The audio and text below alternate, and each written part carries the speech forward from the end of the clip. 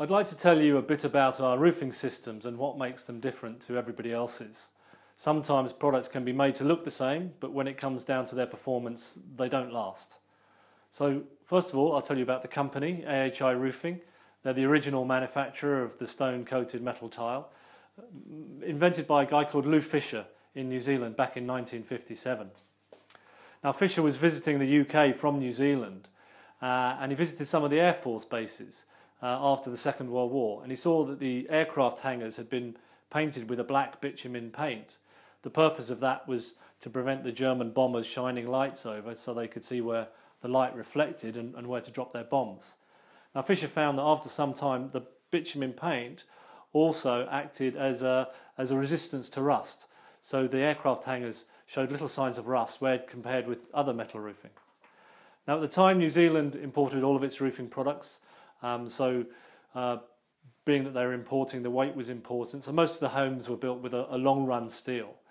Now the largely European population still liked the look of the European building. So Fisher decided to make a tile out of steel, uh, but with a European profile, the tile profile. Uh, and then he coated it using the bitumen using the bitumen paint, and then he used a stone chip on the finish of it to give it the, the tile look, the brick look. Now, people in New Zealand, they liked this look and they were soon asking for different colours. And New Zealand, being a volcanic country, had plenty of seams of different coloured rock. And as you can see behind me, there's a, a, a wide range of colour products were developed. Now, over time, new technologies were employed. Acrylics were used to replace the bitumen, uh, and alu zinc was used to replace galvanized steel. Together with advances in the manufacturing process, AHI uh, and the tiles have a six to nine times longer lifespan uh, than other metal roofing products. Today, AHI roofing products carry a 50 year warranty for all their products anywhere in the world. They started to export from New Zealand in the 1970s, and by today, they've supplied over 120 countries around the world. Today, we have four manufacturing plants in four continents of the world, and it's the world's biggest metal roofing company, at least four to five times bigger than any of its competition. In 2004, AHI became part of Fletcher Building. They're New Zealand's biggest company with an annual turnover of over 8 billion US dollars. Now, sometimes it's good to know who's behind the products that you're buying from. You know it's companies you can trust.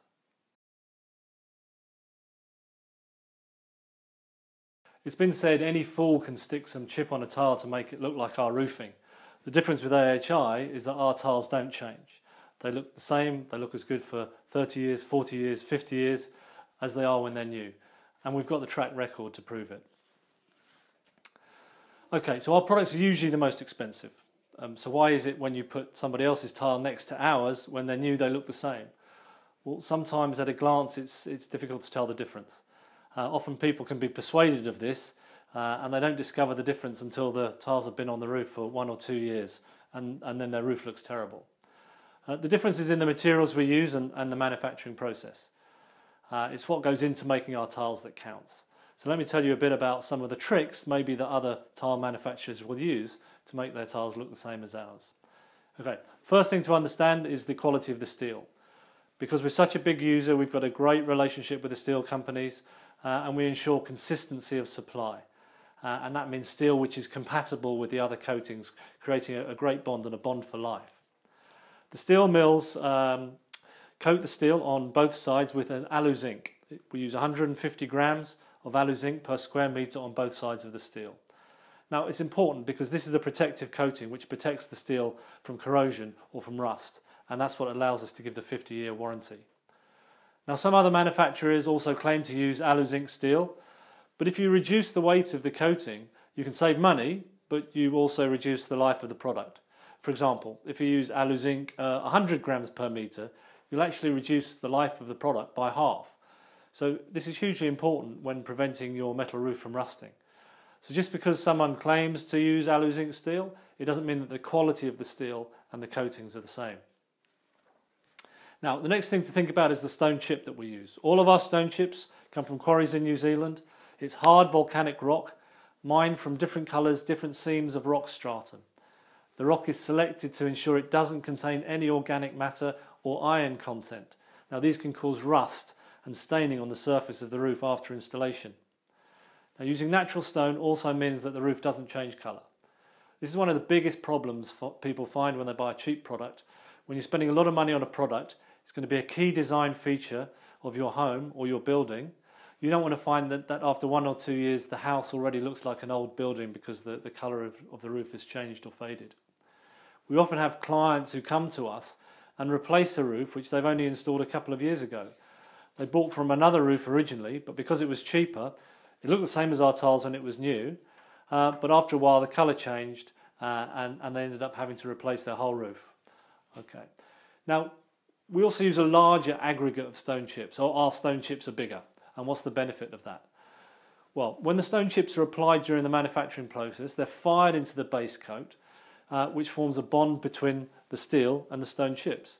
We apply a thicker base coat than other manufacturers, so the larger stone chips can sink into the base coat, and when the base coat dries and hardens, the stones are securely embedded. Now you can compare this with a stone being dropped into, say, a, a bucket of cement. If you use a large stone, the cement will uh, solidify around it, uh, and then when the cement is dry, the stone chip doesn't come out. If you just use a small stone and a little bit of cement, then it will stick to the surface, but after time, it can easily be removed.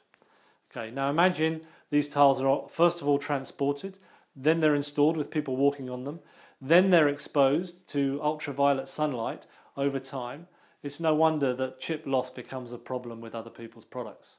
So again, we see how manufacturers can make their tiles cheaper, make them look the same when they're new, but their performance is completely different. Now, there's something else to mention about the bond between the base coat and the stone chip.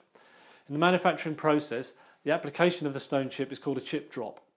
When the stones are fired into the base coat, uh, we can use a microscope to look at the coatings and see if there's any gaps where the base coat is exposed, uh, where there's any gaps between the stone chips. Um, now, we actually use a second chip drop, so we blow any loose chips off that first from the first installation, and then the second chip drop goes down to make sure that there's no gaps between any of the stone chips. Um, when the base coat dries and hardens, it holds the stone chips to the steel. The stones themselves are protecting the base coat from the ultraviolet sunlight, and that's something that we call a symbiotic relationship between the stone chips and the base coat. It means that they provide each other with a mutually beneficial service. The base coat serves to bond the stone chip to the tile, but at the same time the chip is protecting the base coat from the ultraviolet. Okay, the sun's ultraviolet is what can destroy the base coat. Okay, now in every batch of roofing, we produce uh, the the product goes through something called a mandrel test. That's where the tiles are bent over a steel bar to check and ensure that the coating doesn't crack and the coating doesn't come off. So AHI base coat is especially formulated to provide both strength and flexibility. Now that's necessary especially during installation when the tiles have been walked on and they're being bent for the installation at the hips and the ridges and the valleys. And if the coating breaks then that creates a weak point uh, and that's a that's a cause for potential future problems. Okay, the mandrel test is a way of testing the tile against these future problems with chip loss. Okay, uh, some of the complaints we hear from other tile manufacturers, uh, from the installers, is that chip comes off during installation, which means either there's not enough base coat or the base coat is too hard and too brittle, or the stone chip slips and bunches uh, because the base coat is too soft, particularly when it's now exposed to, to, to heat in sunlight, and that leaves the base steel exposed. Okay. AHI also then apply an overglaze on the top of the stone chip. This hardens very quickly uh, and it prevents chip loss from friction during transport and installation. Again, it adds cost, but there's an additional advantage and there's a benefit to the final customer. So we've seen lots of ways already where, the, where our products are, are really different to other people's.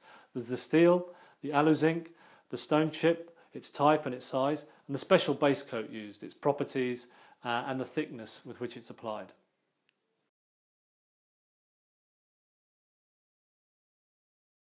The final thing to discuss when looking at the difference between AHI tiles and other manufacturers is the manufacturing process itself. Now, remembering AHI first made these tiles over 60 years ago, in that time there's been a lot of learning.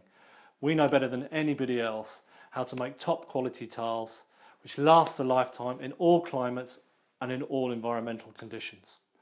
We can prove this because there's plenty of buildings with our roofs on them which have been uh, installed for more than 50 years, more than 60 years in some cases. Uh, and we're the only company who has that track record. We don't film or photograph our factory due to trade secrets, uh, but I can tell you that each one of our factories has an oven. These ovens are unique. Uh, they cost over a million dollars each, uh, and they're over 100 meters long. The tiles pass, first of all, through the coating line, and then are mechanically lifted into the oven, so they're never touched by human hands. The oven, as I said, is 100 meters long, and each tile passes through a range of different temperatures in the oven.